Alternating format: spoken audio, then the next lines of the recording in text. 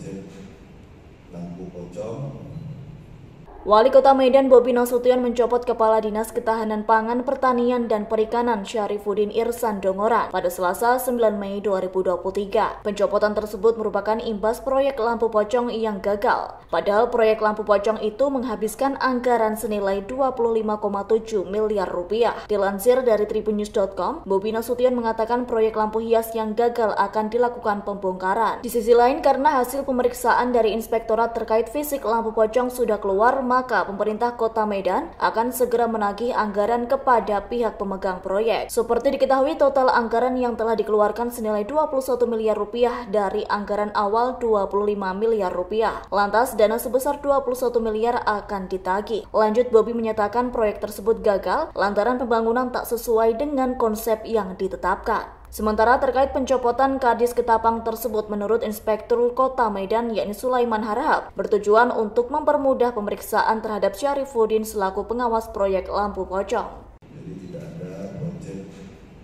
lampu pocong yang biasa lampu pocong ini kita anggap proyeknya gagal. Jadi kita akan tagihkan seluruh anggaran atau uang APBD yang sudah keluar. Terima kasih sudah nonton. Jangan lupa like, subscribe, dan share ya.